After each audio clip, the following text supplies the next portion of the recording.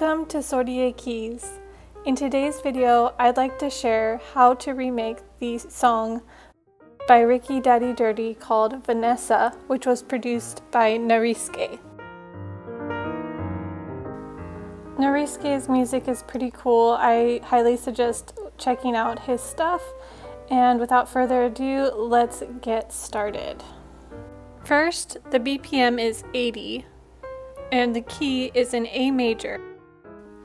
Before we begin, I want to make a note that all the elements that I used in this video are stock plugins that come with GarageBand. So I really encourage you to open up GarageBand and try to recreate this on your own. There are two drum patterns and they're very both very simple. This kind of drum pattern makes it easy to hear the rap and also the music as well. Let's have a listen.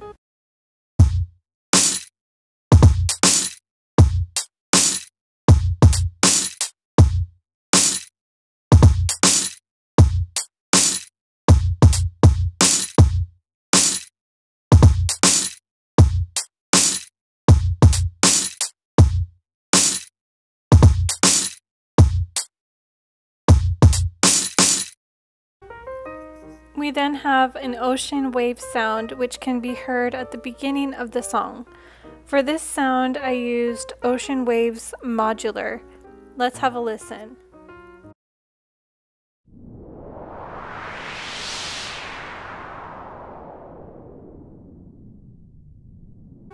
The next sound is a vox, which you can hear sprinkled throughout the original song whenever the bass comes in. For this, I used Dream Voice, and here it is on its own.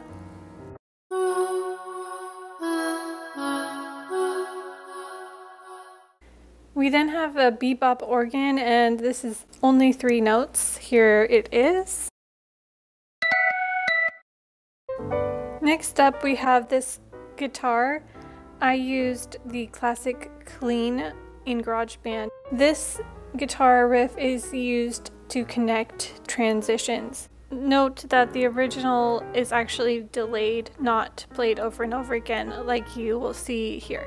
Let's have a listen.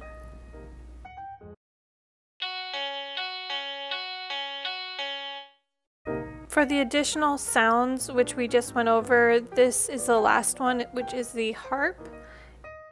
This helps with the bigger transitions of the song the name of the harp that I used in GarageBand is called Harp. So here's the pattern.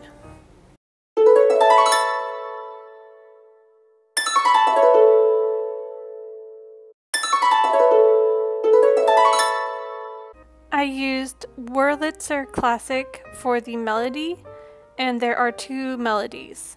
Let's listen to melody A.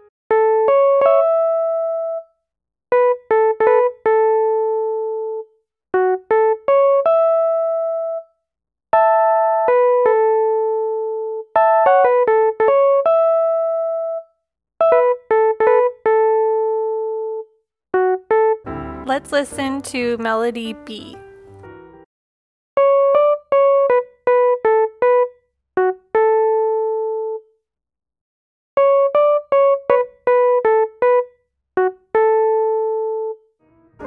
For the chord progression, I used the classic electronic piano. There are two chords and a dyad, which is a two note chord.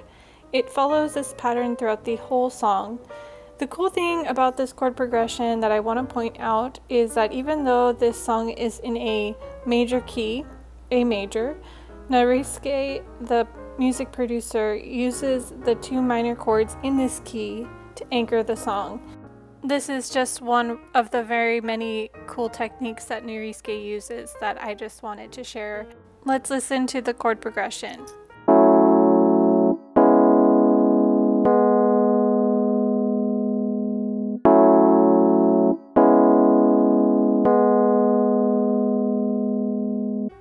Alright, the very last element I want to share is the sub bass and the bass I used for this is the Super Sub 808 bass. The cool thing about this pattern and this bass is that it's very simple and it's only played in a select few places throughout the song, which has more impact. Let's have a listen.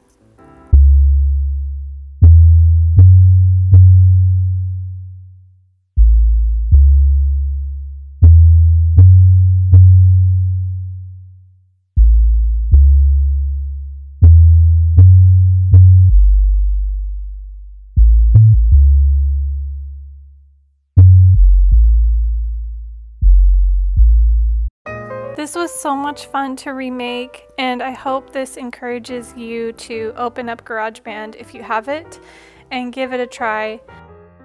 I want to point out that the talent that went into the original song cannot be overlooked, and this version that I'm sharing with you today is a very, very humble remake. But my hope is that it sparks inspiration in you and motivation to create something. Make sure to check the original on YouTube and support the artists that put so much work into this final product. If you found today's video helpful or entertaining and you want to see more videos like this, consider liking, subscribing, and leave a comment about which song you want to know how to make. Thank you so much for watching.